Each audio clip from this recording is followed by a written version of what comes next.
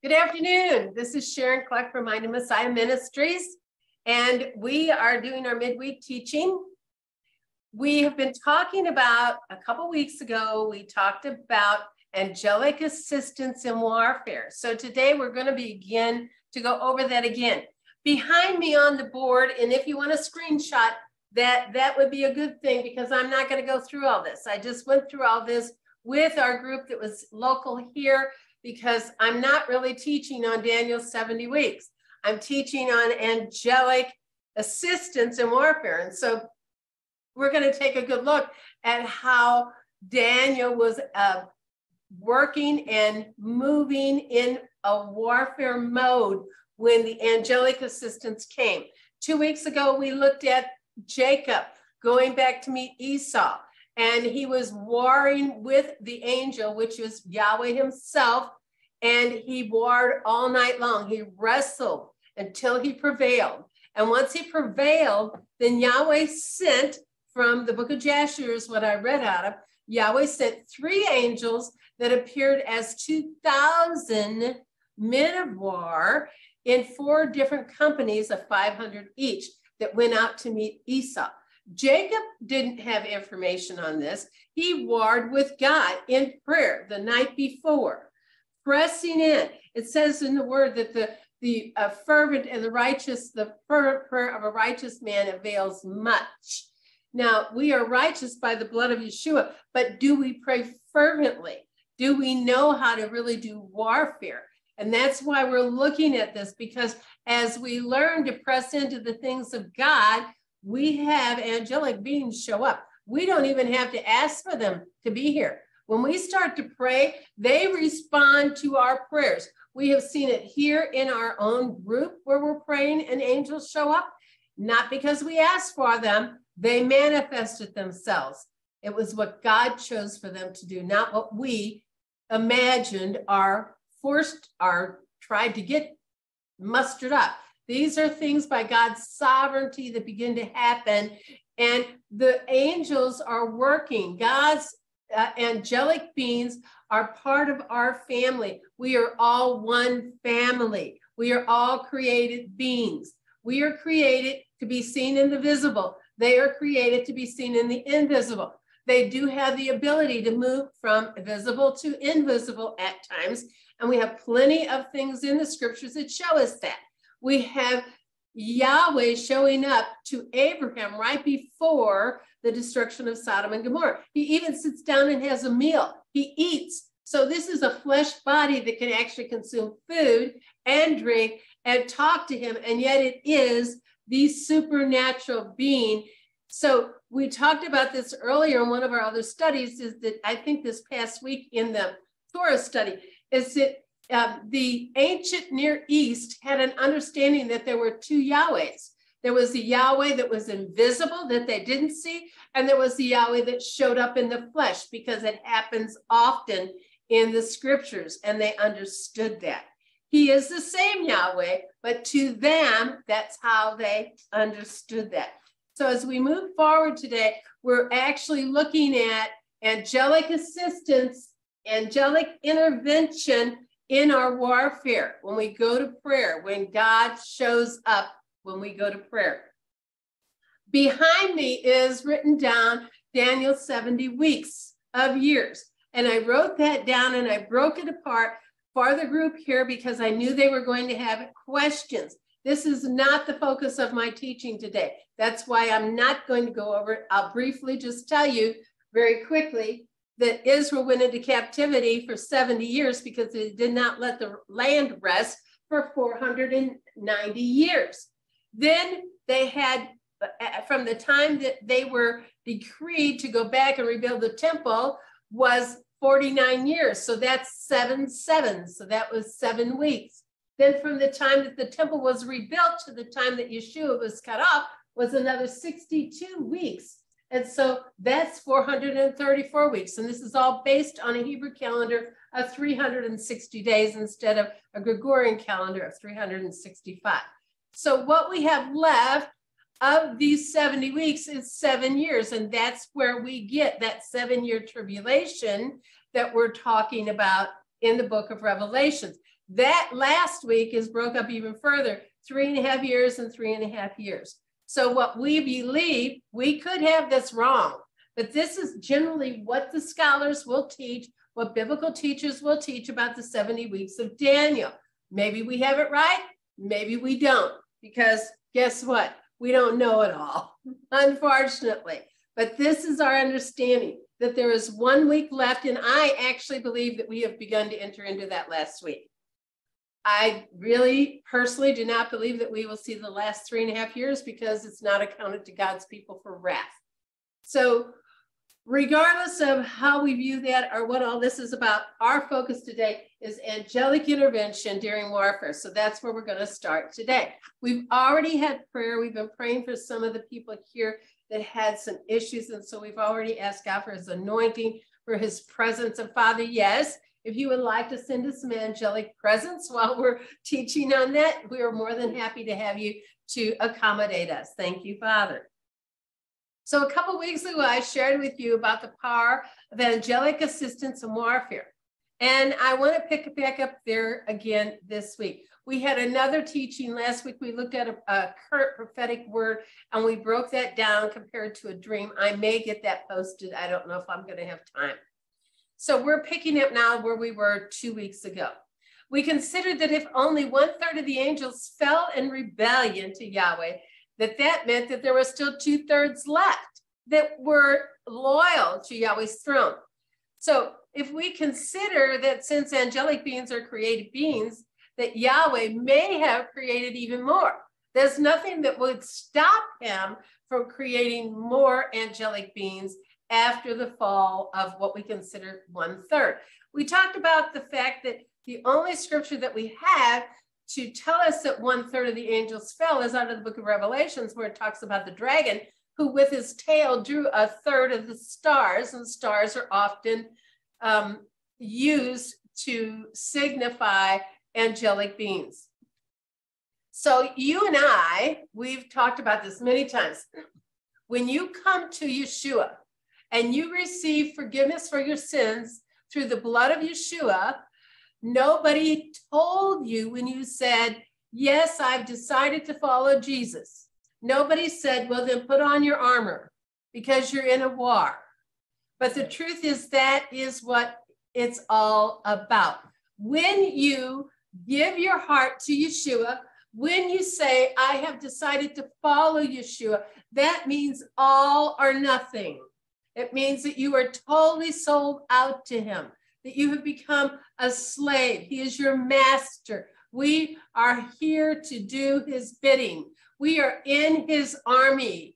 When I was a little girl, one of the very first songs I learned in a Sunday school was that I was uh, in the Lord's army. It was onward Christian soldiers, onward Christian soldiers, marching as to war with the cross of Jesus going on before.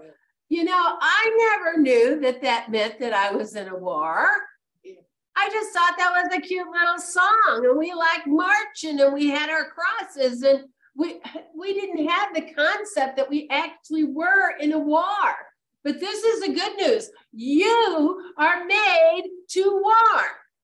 If you belong to Yeshua, you were made to war. If you're in the human flesh, you were made to have dominion. You have been given dominion. We are supposed to be ruling on this earth and bringing in the kingdom of God to this earth. And somehow we just miss that. We just we go, we got our Willy Wonka ticket, golden ticket. We're going to heaven. We're we're cool. And nobody told us that we were in a battle and we have an obligation to battle. We are enlisted if we like it or not. So, for the past few years, we've been talking about this. When we started teaching on this and learning, it was four years ago, and a lot of people did not know that they could do warfare, that they had weapons, that they had armor, that they were called to battle. Many people didn't understand that. And now that concept has become much more clear. Well, in the past four years, it's become abundantly clear. We are in a life and death battle right now. And we're in a life and death battle for our loved ones and even for ourselves. But the good news is that you are a soldier and you have been equipped to battle. And you can stand your ground and you can fight and you can even take ground for the kingdom of God. Each of us, each and every one of us, should be causing some distress of some kind in the spiritual realm. If you are not stirring up the kingdom of darkness with your prayer life, then you're not doing your job. Satan's time is short, and he knows it. And part of the reason it's short is because people who pray are hindering his agenda. And you're making him stop and clean up little messes here and there. It doesn't matter if you're just throwing a stumbling block in his way through praying in the spirit about something. Any hindrance that you can cause to the kingdom of darkness is a good one. So we continually go back to the beginning of our faith to remember the joy of our salvation, because there's a lot of things going on right now that hinder our joy, that rob us. We talked beforehand, before I started here today, we have, I have a pastor friend. He's actually a disciple of my husband and my late husband and I. We love him dearly. He's been giving a diagnosis that is a really bad diagnosis and the sadness has been very heavy. And I keep saying to people when that sadness gets heavy, you have to be in the word. The word will replace the sadness. The enemy wants to keep you in that position so that you are not effective in your prayer, so that you're not effective in the kingdom of God if he can keep you sad, if he can keep you grieving, if he can keep you mourning, then you're distracted and he doesn't have to be bothered by you. Stay in the word, and particularly the Psalms. The Psalms will lift you up in nothing flat. You talk about fighting the enemy and walking in victory. King David knew all about that. And he, his words will lift you up. Just look at Psalms 91. We are hidden under the shadow of the Almighty. You talk about angelic assistance. You stumble your foot, the angels are there to lift you up. You know, when I first started reading Psalms 91, I thought that was a, a word, a prophetic word for Yeshua only, but it's not. And the reason I know that is because it says, and with long life will I satisfy you. Yeshua was not satisfied with a long life on this earth. But when you are obedient, when you are an obedient child, to the kingdom of heaven and to the word of God. He will satisfy you with a long life. I'm not saying that 100%, but I can tell you, I'm holding on to that word. I'm holding on to that. I want to be alive and see the coming of the Lord. So I'm holding on. So if we go back to the beginning of our faith, we will remember the joy of our salvation. That's super important right now. Never forget the joy of your salvation. The moment that you gave your heart to the Lord, what happened? Oh my God, all the burdens lifted. It all lifted off of you. It was like you gave it to Him. It's going to be okay. All of the sin that you had in your life at that moment didn't, it's like the consequences of that sin didn't all go away. The earthly consequences but the eternal consequences of that sin were lifted. And all of a sudden, you're free because who the Father sets free is free indeed. And where the Spirit of the Lord is, there is liberty. He wants us to walk in liberty. So if we remember the joy of our salvation, we had nothing to offer God but our sinful self. We hadn't spent time in the Word. We hadn't done work for the Lord. We had we didn't have nothing to offer him. Here I am, God. And he said, Come on, child, I love you. I'll take you just like you are. And the longer we serve God, the more we think we have to offer him. We are nothing. We are nothing without him. He is everything. He is our all in all, and He is our everything. And He's the only one that, that gives us the power and the strength to move forward in the things that He's asking us to do. So remembering the joy of your salvation will stir you up to go, okay, God, I made promises to you on that day. I made vows to you on that day. I don't want to leave this earth and not keep those vows. Let's make a pact with ourselves to do all the things that we said we were going to do on the day that we turned our life over to the Lord. And since then, so we are in this life and death battle, and each one of us would do well to rehearse the day that we surrendered, the day that you committed to follow Yeshua with your whole heart. But if you can't remember that day, or you can't recall exactly where that was and what time it wasn't, I don't remember the exact day. I know the month, I know the year. I, you know, I, I didn't keep track of the exact day, but I could probably go back and figure because it's like 50 years now. it's a long time. But if you don't know, if you can't go back and remember the day that you surrendered, then you need to do it now. You need to go back and go, I don't remember. Did I really surrender? Did I really fully commit to God?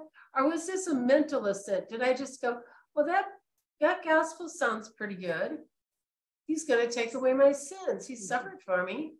And, and did you just reason that?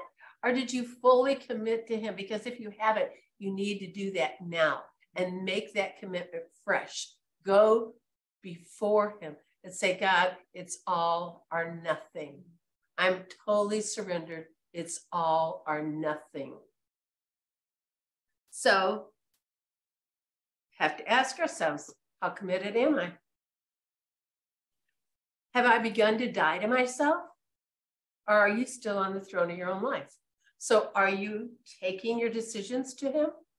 Are you taking what you do with your finances to Him? Are you taking your relationships to Him? Are you asking his wisdom about everything in your life? Are, are you still on the throne of your own life? Are you still calling the shots and doing what you want to do? Choosing your own days, choosing your own will, choosing your companions, choosing your the way you spend your money. How much of that is submitted to God on a daily basis? So Yeshua is either master of all or he's not master at all. I must say that again. Either Yeshua is master of all, or he's not master at all. You decide. Is he consulted about your daily decisions? Do you talk to him on and off all day long throughout the day? How much time did you spend in the word asking him to teach you? When you're in that word, are you saying, God, teach me? I don't understand this. This is not clear to me. How did this happen? Why did this happen? What do you want me to learn out of this? Ask him questions. Ask him to grant you wisdom and understanding. Do we ask for those aha moments where all the puzzles just kind of fit together and all of a sudden you have understanding that you never had before? To me, there's nothing greater. There's no more excitement in my life than learning something new about God or about the Word to where, oh my God, it fits together. I finally get it. I finally get it. I've been trying to figure this out all my life. I was reading that book on um, uh, the uh, the realm, and and it by Heiser, and um, the unseen realm. And I, he read it. There was a par- paragraph right in the middle of the book, and I read that and I went, oh, "There's the answer." And he's talking about the seed of Satan the seed, seed of God. Questions that I had had, and there in the forward of that first of that chapter was the answer. It was just what, oh my God. So now I have to go back and I have to meditate over that. I have to ponder. I have to brood over that word and go, okay, how is that right? Because when I read it, I went, oh my God, this is it. This is what I've been looking for. Now I need to brood over that because I can't always speak what God shows me until I started getting it into myself. That's part of loving Him, part of bringing Him and His Word into you on a daily basis. So I find that when I learn a new truth, that I ponder it over and over again until I begin to say, well, then if this is true, then that means that's true over there in that scripture or this other book. Oh my God, now I see how it all fits together. It's such a joy. So, in this spiritual war we find ourselves in, we have to keep our minds right. This is about having our minds right. If uh, Philippians 2 5, it says, Let this mind be in you, which is also in Christ Jesus. So the idea of let this mind be in you, which is also in Christ Jesus, is to have the same kind of mindset that he had, or the same kind of thinking that Yeshua had. Specifically, Paul's talking about how Yeshua, as God, was willing to give up his glory and to humble himself and to become a man, to come in the flesh, God in the flesh, and then to die, to let somebody kill him, a brutal death on the cross. Yeshua gave himself up as an expression of love and was willing to lower himself to express that love. He is the supreme example of love, of humility. As Yeshua himself put it, no one has greater love than to give his life for another. That's John 15, 13. So Paul has challenged us to think like Yeshua thought. think like Yeshua. I just told you he laid his life down for others. We're supposed to think like Yeshua, to be willing to lower ourselves for the benefit of others. And that's how we can be of the same mind, maintaining the same love and intent on one purpose. By being willing to make our own interests and our purposes subservient for the good of other people. So, how often are we doing what makes us happy and not even concerning ourselves about what makes other people happy and having their needs met? If we keep our mind right, if our mind is right, our body will follow. You know, I know this from personal experience. Every time I want to lose weight or do something healthy or whatever, if I go and read about that and get my mind renewed. Like if I want to do intermittent fasting, if I go read a couple articles on intermittent fasting, my body just follows. I, I get my mind right. My body just follows because my mind is right. So if our mind is right, if we have the mind of Messiah, we will begin to follow in the natural, in the earthly realm. So that's why it's so important for us to renew our mind. If the mind is right, renewed by God's word, the body will not act on its own to sin. You, got to tell your body what to do. It doesn't get up and do stuff without you telling it what to do. It will be led by the mind. It's our decision making abilities that determines what the body does or doesn't do. So we spoke about this before. Our body doesn't just take itself to the tattoo parlor. So when I visited my daughter yesterday, there was somebody there and he said, Do you want to see my new tattoo? Well, he already had a bunch already on him. I went, Another one? Why? He said, Well, because I got space. He made up his mind to fill that space and he went and had it done. His body didn't go on its own accord. He had to make an appointment, he had to call, he had to plan to do that. It's keeping your mind right before God and your body will follow. Our body doesn't take itself to the tattoo parlor without our mind telling it to go there. But the mind dictates much of what the body does. If we put things in it that the body becomes addicted, then the body starts mastering the mind.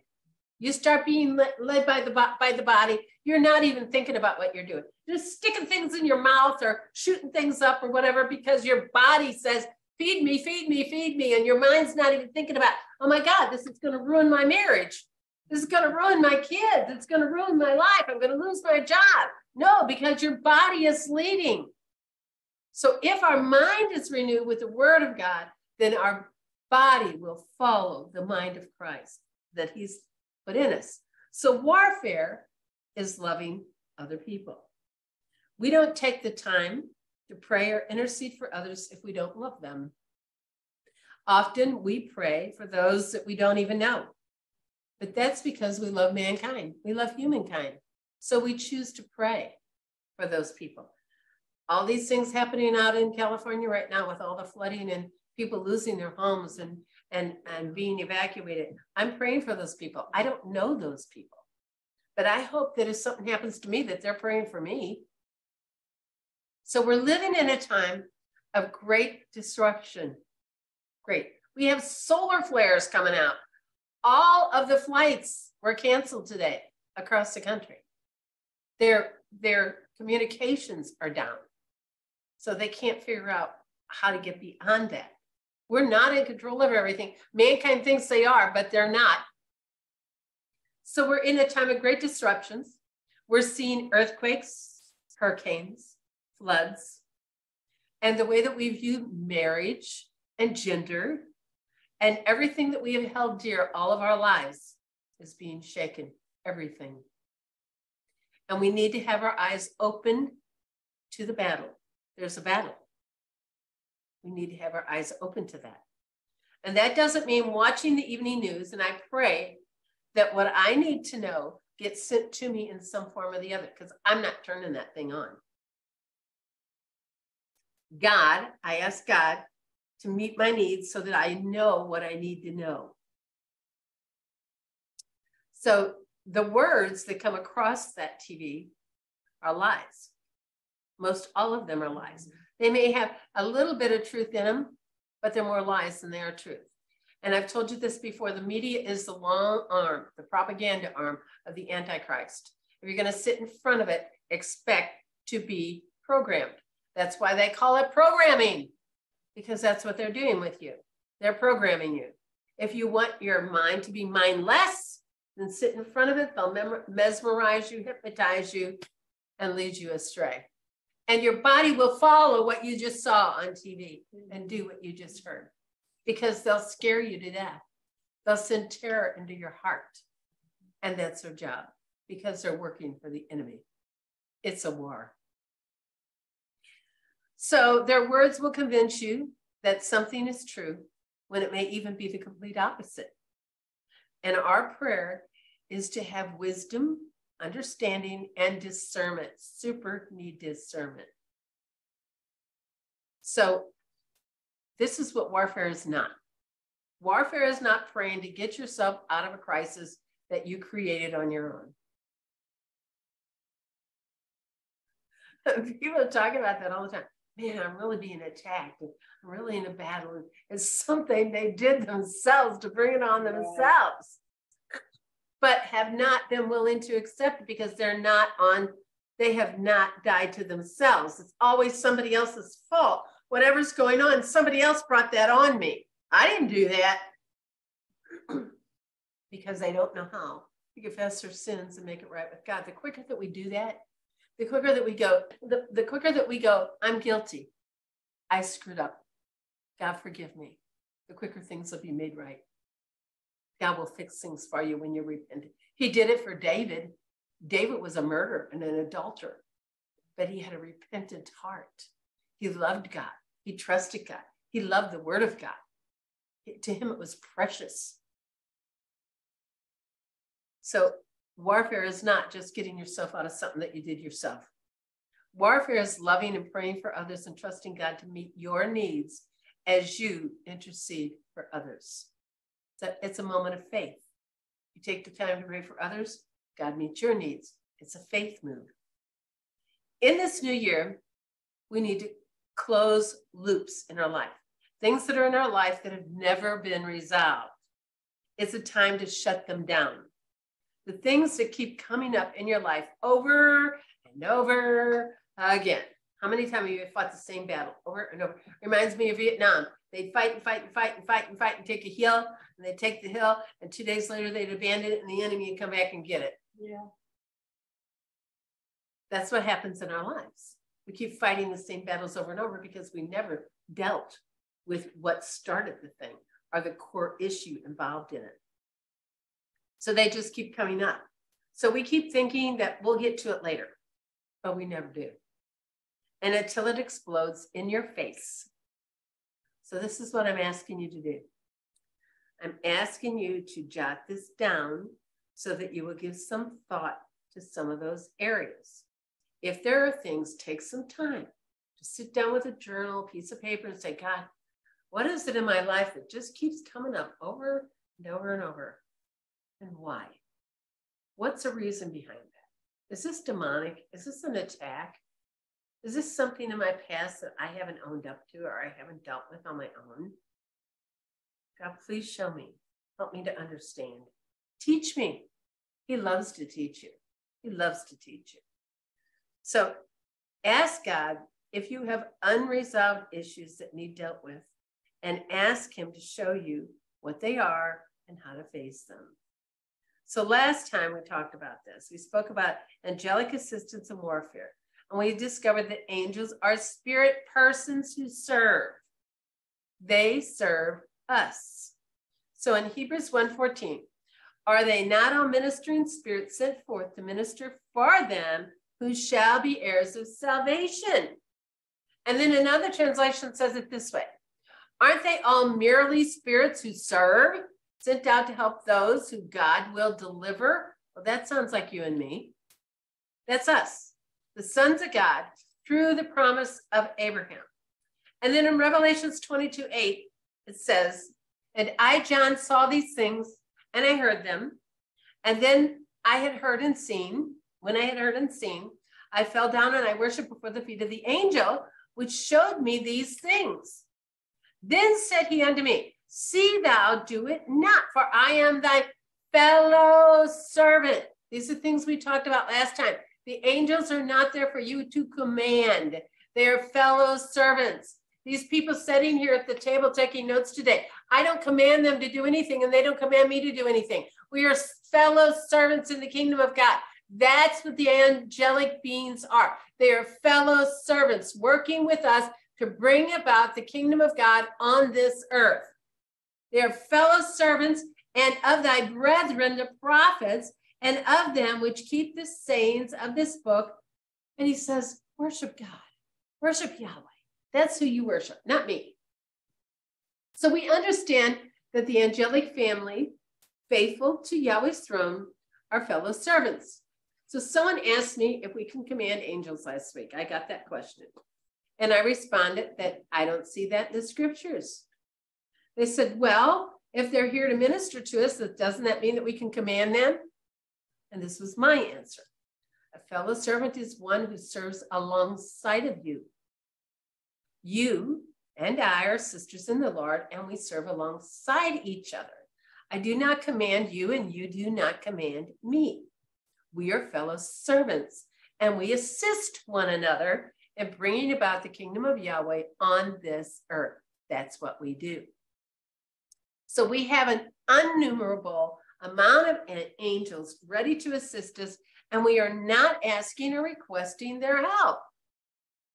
I finished up last time with the story from the book of Jasher. It was a story of Jacob and Esau and how God had sent out the three angels and they became 2,000 men. That was an astounding story. If you haven't heard that, go back and look at that um, message called Angelic Assistance in Warfare because that was really good. So the way that that we saw this unfold was nothing short of an amazing thing in that book of Jasher, just amazing. And the angels came in response to Jacob's wrestling. That's why they came. His warfare.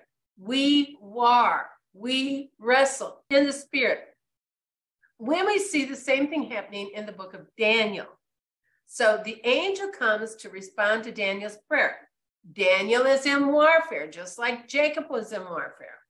This is not just a simple prayer, but it is a repeated prayer of pressing into God to gain greater understanding. That's what Daniel's after. He's wanting greater understanding of what he had read in the scroll of Jeremiah about the return of Israel to the land. So Daniel's prayer for his people of Daniel 9 1. And we're going to read a good portion of that scripture. In the middle of it, we're going to look at Jeremiah and why, what Daniel was looking at in the scroll of Jeremiah. So we're in Daniel 9 1. Okay, Daniel 9, verse 1. In the first year of Darius, the son of Ahasuerus of Median descent, who was made king over the realm of the Chaldeans. In the first year of his reign, I, Daniel, understood from the books the number of years which, according to the word of the Lord, or Jehovah, to Jeremiah the prophet, must pass before the desolations which had been pronounced on Jerusalem would end. And it was 70 years. So he sees that he's getting his information from the scripture. That's where we look. We look at the scripture, it tells us what's going to come. We need wisdom, just like he did, to understand. We don't always understand what we read in the scripture, but we need that to be able to understand. So, this is what Jeremiah said. Uh, this is Jeremiah 25, verse 11. This whole land will be waste and a horror. And these nations will serve the king of Babylon 70 years. He comes right out and says how long they're going to serve Babylon. Then, when 70 years are completed, I will punish the king of Babylon and that nation.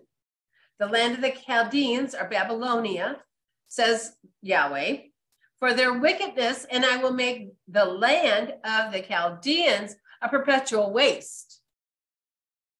For thus says Yahweh, when 70 years of exile have been completed for Babylon, I will visit, inspect you, and keep my good promise to you to bring you back to this place. So this is written down by the prophet Jeremiah. And Daniel is reading faithfully, staying in the word, staying in the word of the prophets, staying in the Torah, and trying his best to understand when are we ever going to be out of this captivity? Jeremiah had told the captives, this is God's punishment. Go into captivity, get married, have children, build homes, have businesses, settle down in that land because you're not coming back next week. You're not coming back anytime soon. You're going to be there 70 years. So let's continue in Daniel 9, verse 3. So I directed my attention to Yahweh to seek him by prayer and supplication with fasting, sackcloth, and ashes. He is trying to die to himself that his ears will be open, that his eyes will be open, that his understanding will be able to receive what Yahweh is saying to him. I prayed to the Lord my God, and I confessed and I said, Oh Lord God, the great and the awesome God who keeps his covenant. He always keeps his covenant. He extends loving kindness to those who love him and get, keeps his commandments. You want loving kindness from God, keep his commandments. Verse 5 We have sinned, we've committed wrong. He's including himself and have behaved wickedly, and we've rebelled, turning away from your commandments and ordinances. This is how we should be praying. That's what America has done. That's exactly what America has done. He's confessing the sins of the people, telling God that he is a righteous God and that they deserve the punishment when we see this coming, we're going, oh God, why is this happening? Why is that? We deserve the punishment. We've done the same things. We've turned our back on God. We took them out of schools. We took them out of the universities, and we've even taken them out of the churches. Further, verse three, we have not listened to and heeded your servants the prophets who spoke in your name to our kings, to our princes, and to our fathers and to all the people of the land. Do you know that there are more prophecies about the end times in the Old Testament than there are in the book of Revelations or the New Testament? And we have rejected the Old in this nation. And the prophecies as to what is coming are going to be found there, just like the book of Daniel that I'm reading right now. Daniel 9 7. Righteousness belongs to you, O Yahweh, but it is to us confusion and open shame. And it is this day to the men of Judah, to the inhabitants of Jerusalem, and to all of Israel, those who are nearby and those who are far away, to all the countries to which you have driven them. They're driven all over the place. And you did that because of their sin, and they deserved it because you are a righteous God. You told us this would happen. You told us it would happen, and we would not listen. In all the countries to which you have driven them, because of the treacherous acts of unfaithfulness which they have committed against you. Verse 8 Oh, Yahweh, to us belongs confusion and open shame to our kings, to our princes, and to our fathers, because they have sinned against you. To Yahweh, our Elohim, belongs mercy. You are merciful, loving kindness, and forgiveness. For we have rebelled against him. The only way we're going to get mercy and forgiveness and loving kindness is by becoming obedient and confessing our sins and being a repentant nation. This nation needs to repent. We need to start with ourselves and repent. And we have not obeyed the voice of the Lord our God by walking in his laws, which he set before us through his servants, the prophets. Yes, all of Israel has transgressed, all of us. We've all transgressed your laws, even turning aside not obeying your voice. So the curse has been poured out on us. The oath which is written in the law of Moses, the servant of God, because he has we have sinned against him. So what's he talking about? He's talking about Deuteronomy 28.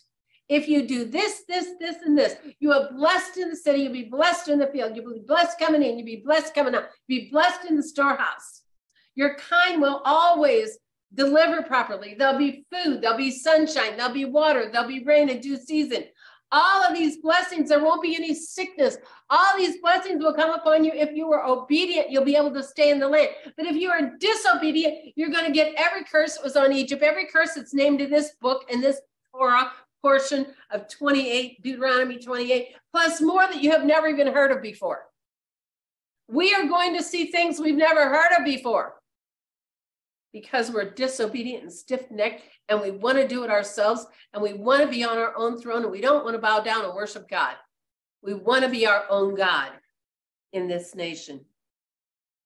And he has carried out completely his threatening words. Yahweh made threatening words. He told you what would happen. This wasn't done unexpectedly. I told you, God says, what would happen. And now it has threatening words which he had spoken against us and against our rulers, the kings, the princes, the judges who ruled us. That's who he's talking to right now. We have kings, princes, and rulers that are leading this nation astray, who ruled us to bring us on, to bring on us a great tragedy. For under the whole earth, there has not been done anything so dreadful like that which he commanded and has done to Jerusalem. Just as it is written in the law of Moses, and all of this tragedy has come upon us. Yet we have not wholeheartedly begged for forgiveness. That's where we're supposed to be. Wholeheartedly begging for forgiveness, not a little patty cake. Gee, God, I'm really sorry. We just see all this stuff going on. We're really sorry that they won't listen to you. And this is a wholehearted begging for forgiveness, and sought the favor of God by turning from our wickedness and paying attention to and placing value in your truth. There's no value placed in the truth of God.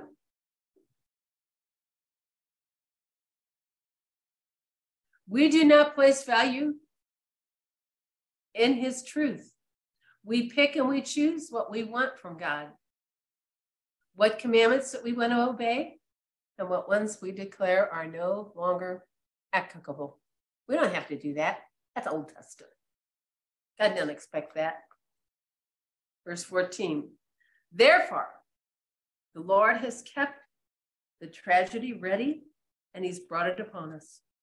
For Yahweh our Elohim is uncompromisingly righteous and openly just in all of his works, which he does. He keeps his word.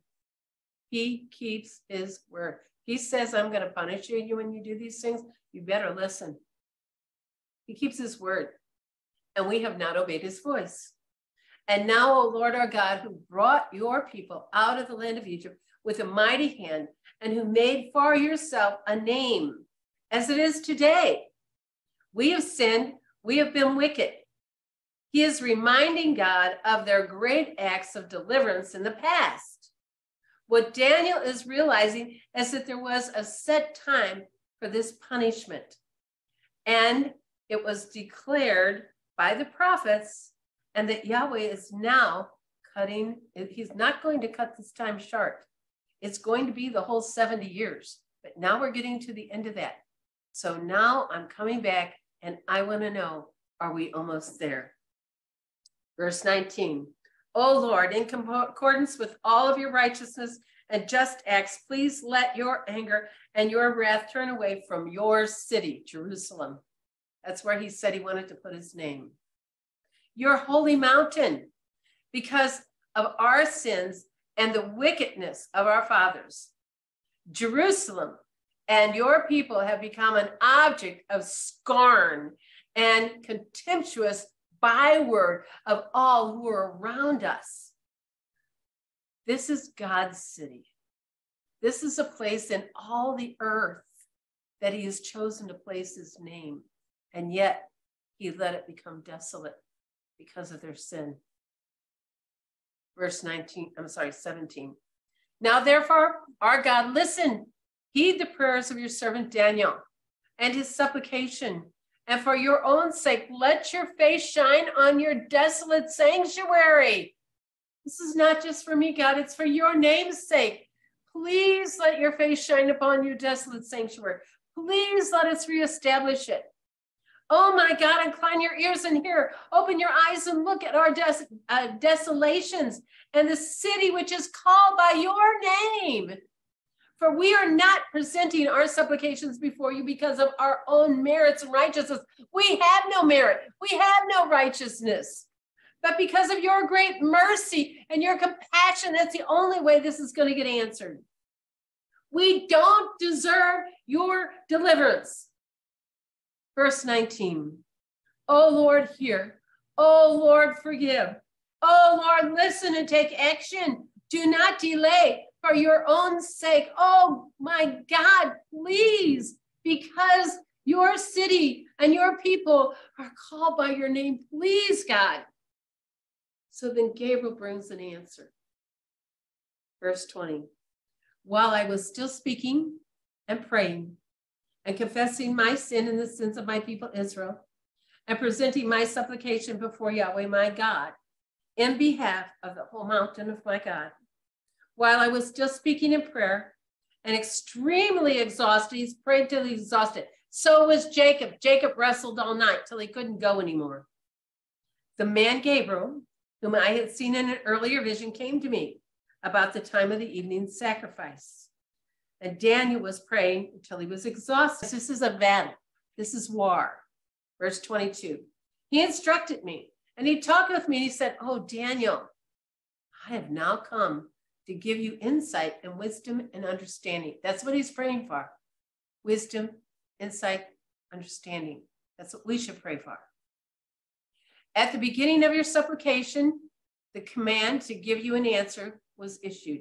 When he began to pray, the commandment was given for an answer to come. And I have come to tell you, for you are highly regarded and greatly beloved. Therefore, consider the message and begin to understand the meaning of the vision. There was a commandment issued from above. So Yahweh sends an angel to answer this prayer verse 24. 70 weeks of years are 49 years have been decreed for your people and for your holy city, Jerusalem. That's what this is about back here.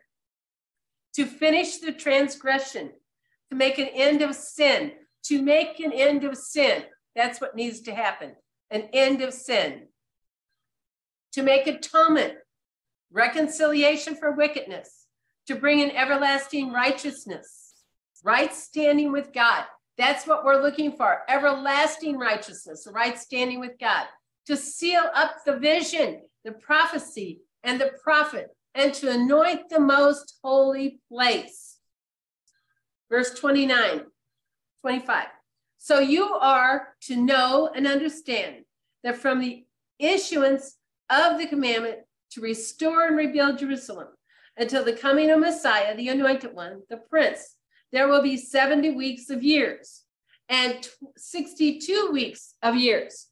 It will be built again with a city, plaza, and moat, even in times of trouble. For all of you that read Ezra and Nehemiah, you know how much trouble they went through to get that temple rebuilt. And it took them 49 years, which was seven times seven. So that was the first set of sevens. Then it says in verse 25 So you are to know and understand that from the issuance of the commandment to restore and rebuild Jerusalem until the coming of Messiah, the anointed one, the prince, there will be 70 weeks of weeks and 62 weeks of weeks. It will be built again with a city, plaza, and moat, even in times of trouble. The angel is telling Daniel, Your people will return. The temple will be rebuilt. Here's the big one the Messiah will come. So, not only is the temple going to be rebuilt, not only is the city going to be rebuilt and the walls, but Messiah is going to come. The promised Messiah will come. Daniel is told that this is the Messiah. Yeshua is the Messiah. He came in the time frame that Daniel heard from the angel. The angel's telling Daniel, Your people will return, temple will be rebuilt, and the Messiah will come. Verse 26. Then, after the 62 weeks of years, the anointed one will be cut off. He is sacrificed and denied his messianic kingdom, and having nothing and no one to defend him. And the people of the other prince, we know who the other prince is, who is to come will destroy the city and the sanctuary. Its end will come with a flood, even to the end. There will be war, desolations, and they are determined. Verse 29. And he will enter into a binding and an irrevocable covenant with the many for one week, seven years, one week. But in the middle of that week, he will stop the sacrifice and the grain offering for the remaining three and a half years. And on the wing of an abomination will come one who makes desolate, even until the complete destruction, one that is decreed, is poured out on the one who causes the harm. So about now, Daniel's going, What? What does all this mean? So the angel has more than answered Daniel's prayer. He's not only told him that the walls will be rebuilt, the temple will be rebuilt, but now Messiah is coming. They've waited. They have waited. And now he's telling him Messiah will come. And this is in the time frame that he will come. And he did come in that time frame comes on a wing of abomination. He makes desolate, even into the completion, the complete destruction. One that is decreed is poured out on one who causes the har. So there is one who causes har. So the angels more than answered Daniel's prayer. He's gone way beyond what Daniel was asking. So in prayer, in spiritual warfare, praying and seeking answers, who comes to answer them? angelic intervention in warfare, angelic assistance in warfare. They come to tell us what is happening, what's going to happen. And sometimes we don't even understand what we heard. That's why we journal, that's why we write it down. Daniel wrote it down so we would have it. The angels more than told them that. So let's continue on in chapter 10. In chapter 10, you'll see one more thing. In the third year of Cyrus, king of Persia, a message was revealed to Daniel, who was named Belteshazzar. And the message was true, and it referred to a great conflict, warfare, misery, great conflict, warfare, misery is what that word means. And he understood the message and he had an understanding of the vision. So, this vision he understands. In those days, I, Daniel, had begun mourning for three entire weeks. I ate no tasty food, nor did any meat or wine enter my mouth, and I did not anoint or refresh or groom myself at all for this full three weeks. On the 24th day of the first month, as I was on the bank of the great river, uh, Kel, which is a Tigris. I raised my eyes and I looked, and behold, there was a certain man dressed in linen. This is again angelic beings who look like a man. Same thing we saw with Jacob. When he wrestled with the angel, there was a man. Same way with Joshua, right before they're ready to go into Jericho, who shows up? The, the head of the army of hosts. Who is the head of the army of hosts but Yeshua, the Lord of hosts? He shows up as a man. This is how God is able to relate to humankind is by showing up in a common form so that he can relate to us. That's why Yeshua came in the flesh so we could relate to him because he was tested in all ways like we were. He was tried in every way that we were. There's nothing that we go through that he hasn't already experienced on this earth in his time. And so he said he ate no tasty food. He'd been mourning. And so it's the uh, verse four on the 24th day of the first month, as I was on the bank of the great river, that's the Tigris, he looked up, he sees this man in white linen, verse five, whose loins were girded with a belt of pure gold of Uphaz, which is a, fa a famous gold region that UPHAZ, that is a region that has lots of gold. And he's saying this gold is so pure, it looks like it came from Upfaz or Uphaz, U-P-H-A-S, Uphaz. Verse six, his body also was like beryl with gold luster, golden luster. And his face had the appearance of lightning. His eyes were like flaming torches, and his arms and his feet were like the gleaming of burnished bronze and the sound, sounds of his words, like the noise of a multitude of people, the roaring of the sea. And I, Daniel, alone saw the vision of the heavenly being.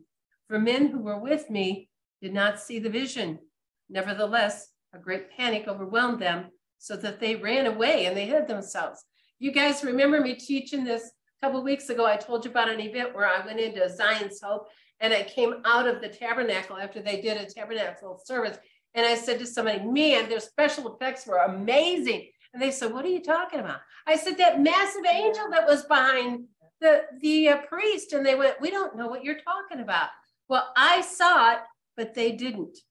And sometimes you will see something that I don't see. Ben sees things all the time that I don't see. Sometimes we see the same things, though, don't we? Occasionally we get to see the same thing. That's when we really know we saw it for sure. Okay, so nobody saw it but him, and they all fled. So I was left alone, and I saw the great vision, yet no strength was left in me. For my normal appearance turned to a deathly pale, and I grew weak and I grew faint with fright. He's really scared. Then I heard the sound of his words. And when I heard the sound of his words, I fell on my face in a deep sleep with my face towards the ground. Do you remember who else did that? Abraham did that. Abraham fell into a deep sleep when Yahweh walked through the pieces when he had made covenant with him for the land. When they cut the, Abraham cut the pieces in half, and then Yahweh walked through those pieces, and Abraham fell into a deep sleep. Well, Daniel does the same thing. He gets in the presence of this incredible angelic being, and he just falls into a deep sleep. Then, behold, a hand touched me, and it set me up unsteadily on my hands and my knees. So he can't stand up yet. He's on his hands and knees. And so he said to me, Oh, Daniel, you mighty, you highly regarded and greatly beloved man. How would you like God to say that about you? Yeah. Understand the words that I am about to say to you. So listen, understand, stand upright. For I have now been sent to you. And while he was saying these words to me, I stood up, trembling. Stand upright is the same thing the angel said to John in the book of Revelations. more than once. Verse 12. And then he said to me, Do not be afraid, Daniel, for from the first day that you set your heart to understand this and humbling yourself before your God, your words were heard. And I have come because of your words. Words are weapons. Words move mountains. Words kill and words make alive. Words, prayer, and repentance brings angels onto the scene. Your words, the angel came because of Daniel's words. How important are your words? Verse 13. But the prince of the kingdom of Persia was standing in the opposition of me for 21 days. Then behold, Michael, one of the chiefs of the celestial princes, he came to help me, for I had been left there with the king of Persia. So he's fighting principalities, trying to get this word to Daniel. Now, I have come. This is why he came he came to make you understand what will happen to your people in the latter days. For the vision is in regard to the days yet to come. Angels come in response to your words, to your warfare, and to tell you what is about to come, even if it's a long way off. Angels bring understanding. I need understanding. Do you? Angels are working and they're present if you see them or not. They are there to assist us in this walk. We're facing troublesome times. So don't forget the weapons in your arsenal to fight with. Ask for angelic assistance as you face these coming days. You're going to need it.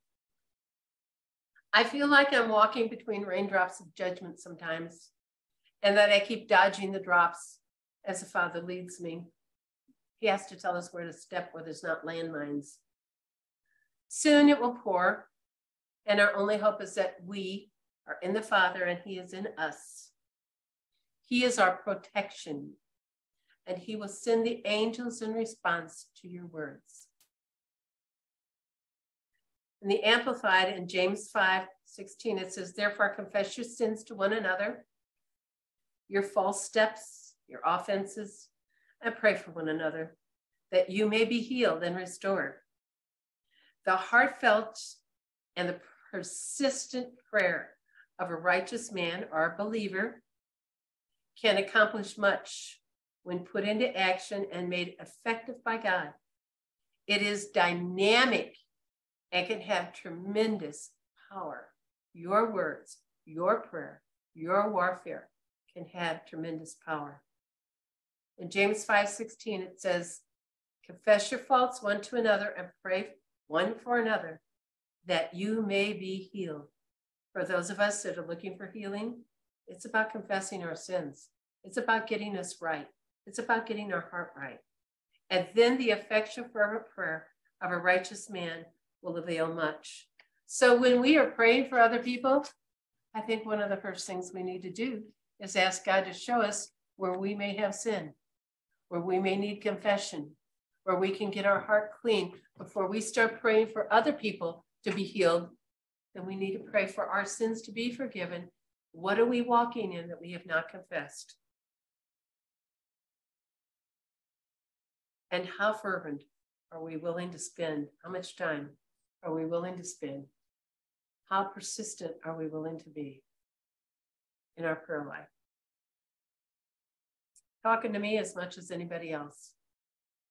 I'm a I'm a scholar.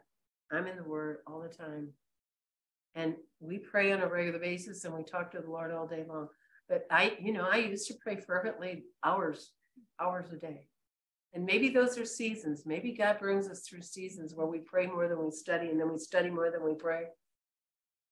But regardless, if you want angelic assistance in your warfare, they will come when they hear you pray.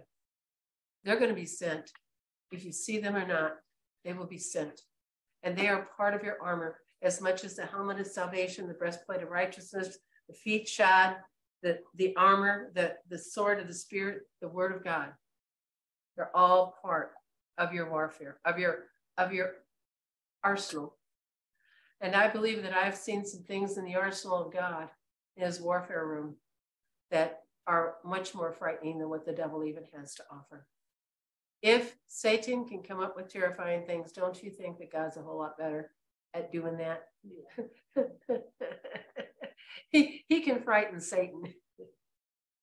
So, Father, we praise you. We thank you for your word. We thank you for this book of Daniel and all that it shows us about warfare and about prayer and about being persistent and about the angels showing up.